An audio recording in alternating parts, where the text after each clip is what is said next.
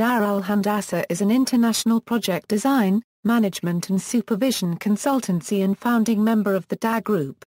It is a multidisciplinary consulting organization for architecture, engineering, planning, environment, project management and economics.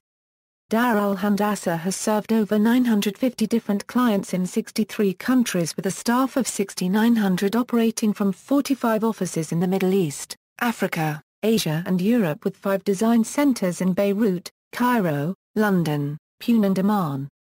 History Dar al Handasah was established in 1956, and initially given an Arabic name 00 terahertz plus or minus 00 mu cubed O copyright Dar al-Handasah which means in Arabic the House of Engineering.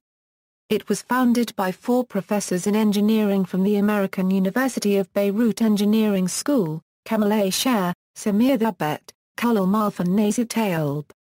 Corporate Affairs Dar al-Handasah has its headquarters in Beirut, Lebanon with clients all over the world.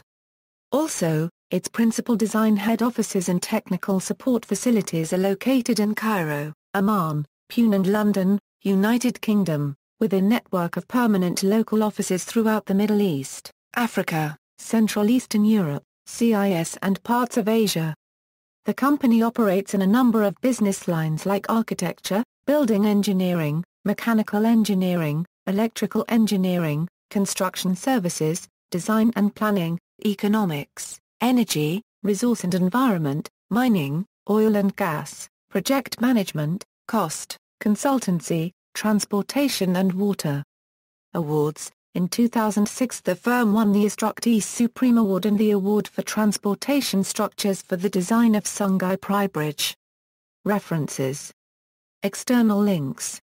Official website, http, enr construction com top list Stirpint Desigen AZ http portal insider.com dar percent 20 movie percent 200 2011 slash dar movie 2011 html